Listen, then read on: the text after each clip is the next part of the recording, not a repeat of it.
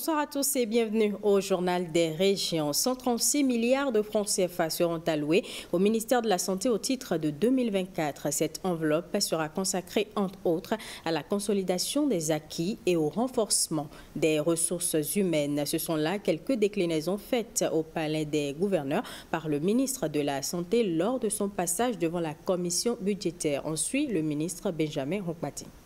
Nous allons avoir en 2024 l'approfondissement de certains programmes qui ont déjà commencé en 2023. Il s'agit en l'occurrence de la formation de médecins spécialistes dans différents domaines, qui près plus de 100 médecins spécialistes qui sont formés dans différents domaines.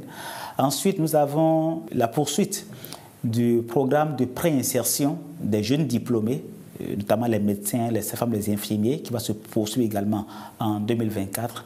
Nous allons avoir la poursuite et la mise à échelle de la politique de santé communautaire avec le recrutement de plus de 10 000 relais communautaires et agents de santé communautaire qualifiés qui vont nous permettre de déployer cette politique qui va constituer un socle pour les questions de prévention et de promotion de la santé.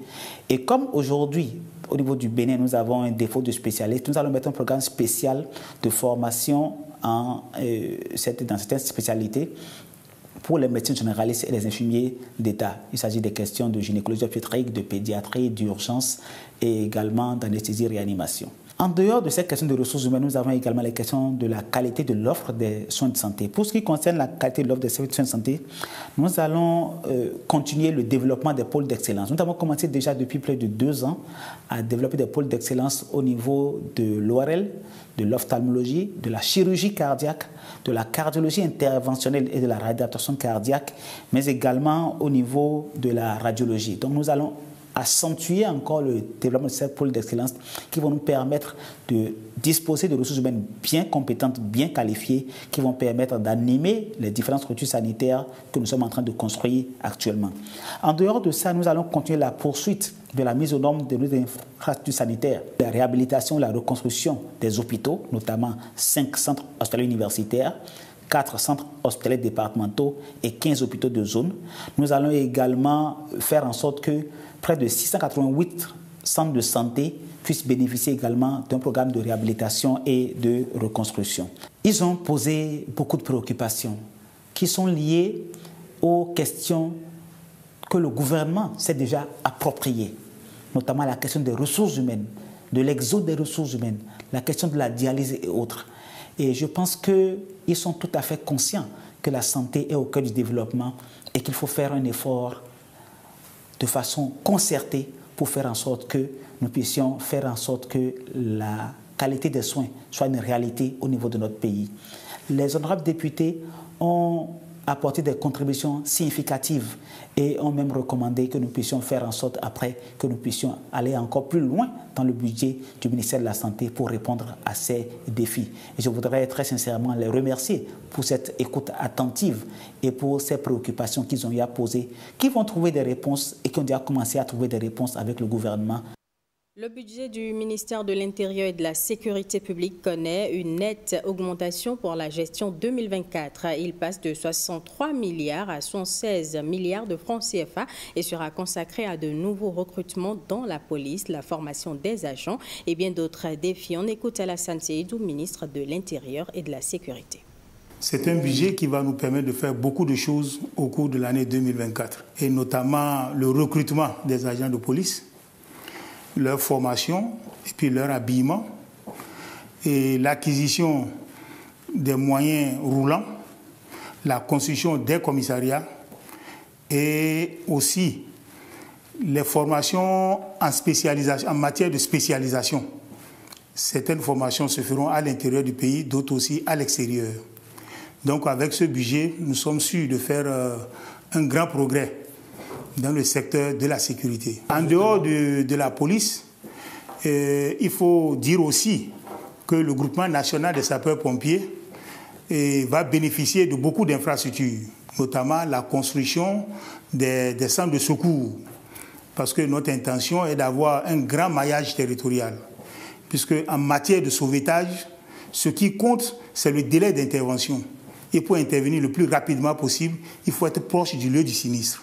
C'est pour cela que nous mettons un accent sur la multiplication des centres de secours, de manière à avoir un bon maillage territorial. En dehors de ça, il y a aussi l'acquisition des camions d'incendie, des ambulances. Vous savez que les sapeurs-pompiers interviennent beaucoup en ce qui concerne l'évacuation des malades, les accidentés de la voie publique et autres. Nous avons eu l'adhésion des députés qui ont trouvé que les choix qui ont été faits par le gouvernement sont pertinents. Il y en a qui ont même trouvé que le budget est insuffisant. Mais nous pensons que c'est une avancée quand même considérable.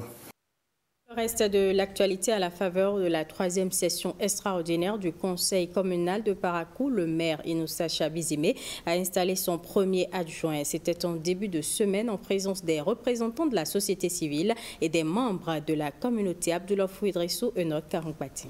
Je vous installe comme premier adjoint au maire de la commune de Paracou.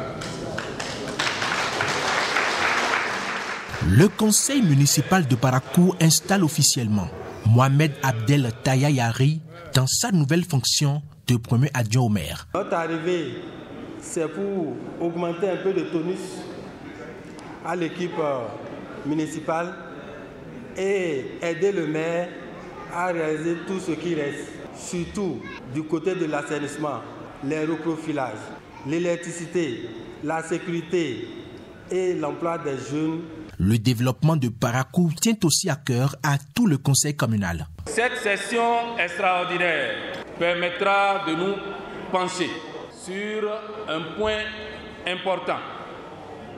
Il s'agit de l'autorisation de virement de crédit en investissement de chapitre à chapitre afin de pouvoir acquérir du matériel électrique pour la maintenance des lampadaires dans la commune de Parakou et permettre aussi d'équiper certaines salles de classe en mobilier dans nos différentes écoles.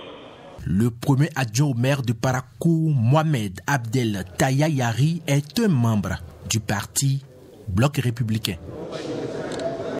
On s'intéresse à présent à la fin de la dernière session ordinaire de la conférence administrative départementale de la Liborie au titre de l'année 2023. Au cours de ce rendez-vous, les membres de la CAD ont eu droit à plusieurs communications, au nombre desquelles la vulgarisation du code foncier et domanial en République du Bénin et surtout les dispositions sécuritaires pour garantir la quiétude dans le département en période de fête. Ensuite, le préfet de la Liborie au micro de Patrick Ayadji et de Judicaël.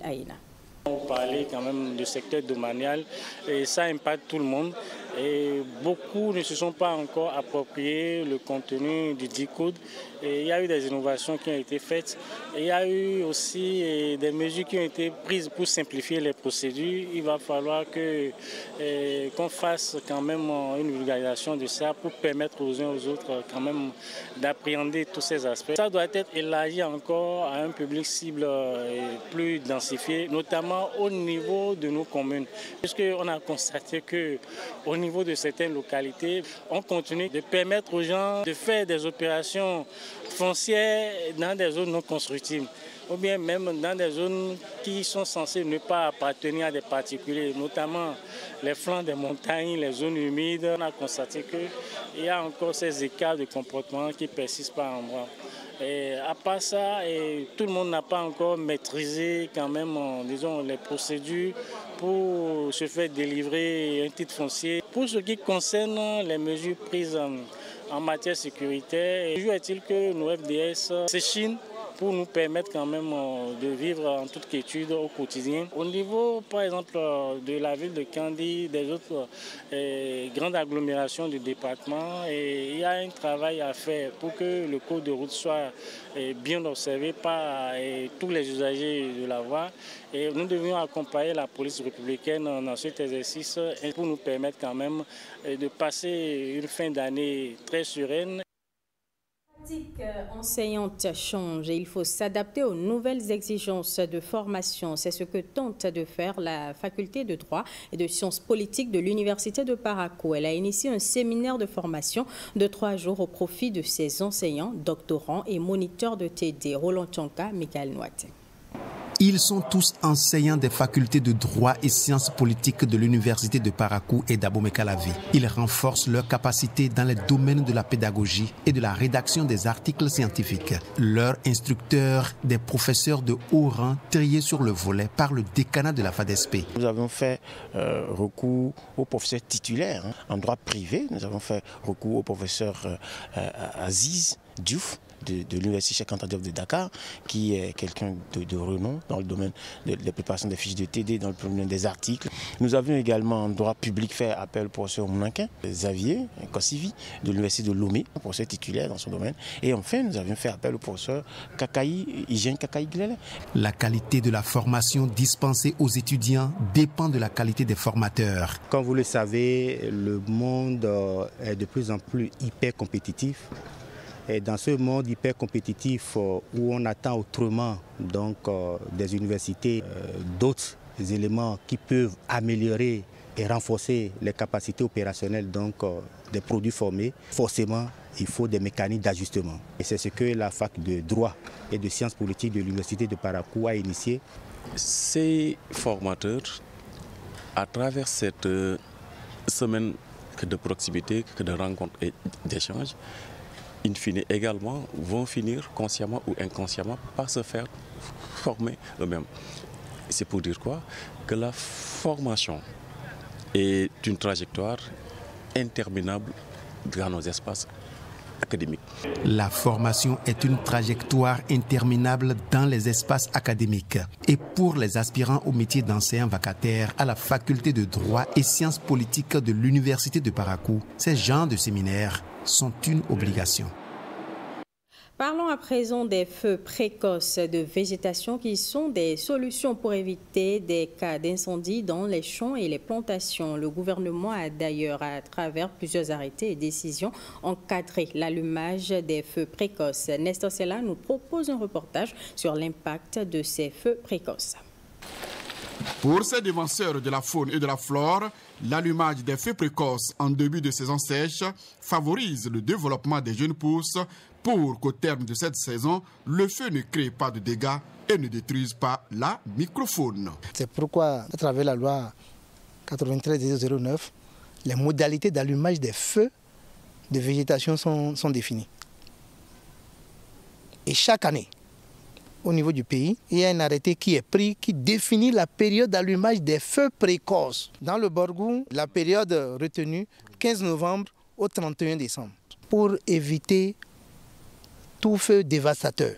L'allumage des feux précoces est une responsabilité des autorités locales. En réalité, selon les modalités de la loi 93-09, l'allumage des feux précoces est sous le contrôle des autorités locales administratives, du maire au chef de village avec la contribution des services forestiers pour éviter des feux naïfs détruire les habitations, les feux naïfs détruire les greniers et des, plantations. Au-delà de, de cette période, tous les autres feux allumés sont des feux tardifs et devront être réprimés conformément aux dispositions de la loi 93-009. Dans la loi, quand vous constatez un feu et que vous ne le signalez pas, vous êtes considéré comme complice. Pour le chef d'inspection forestière du Borgou, les incendies sont moins nuisibles à la végétation et au sol lorsqu'elles se produisent en début de saison sèche.